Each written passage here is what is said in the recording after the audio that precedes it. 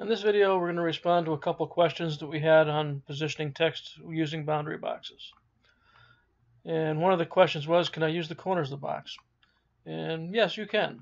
If you want to go and transform and say that I want to move to an origin, I can select any corner of the box and move the text to the origin very quickly. If I wanted to move it to another point, I could do that as well. I would have to then translate it. You can also translate any point from the boundary box to another point. In this case here, I can use my transform. And I'm going to use my translate to a plane function. Select the items I want to translate. And now I'm going to use my source.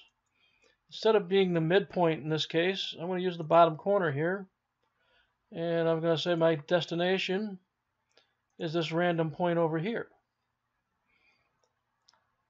Or I can say my source is this point here. My destination is this point over here. Or any other point that I'd like to have. So in my source, I'll take this top corner.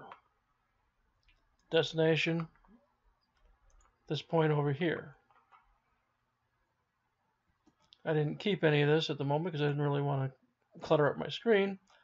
But any point you want to use as a reference and destination, you can do. It could be a midpoint. I could make it a, a temporary point like I did before. Um, I could go ahead and say I want to do the same translation in this point here. And say to a plane select my items as I did before. When I add my selection, I can even select a point that doesn't necessarily exist. So I can say I want to make my source is this top point here. My destination point is going to be a point that I make a temporary point right here.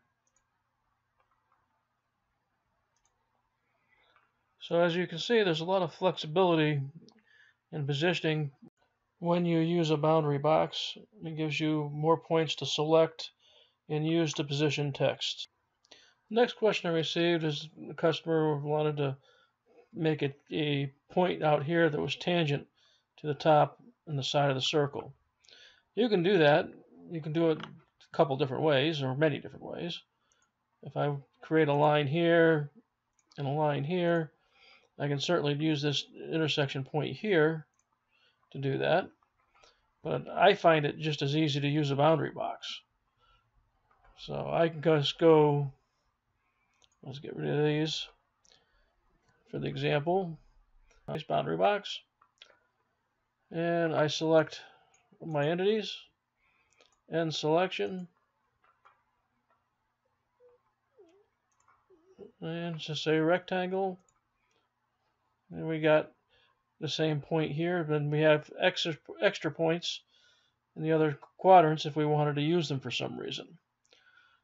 There's nothing wrong with making two lines tangent, but I just find it to be a little bit more work. Thank you for watching.